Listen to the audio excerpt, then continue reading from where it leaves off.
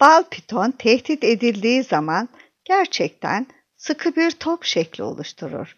Bal pitonlar renkler kahverenginde sarıya değişebilir ama yılan güzel koyu kahverengi zemin üzerine açık kahverengi büyük yuvarlak lekeleri vardır. Bu yüzden de kraliyet piton denir. Alt kısmı genellikle krem rengidir.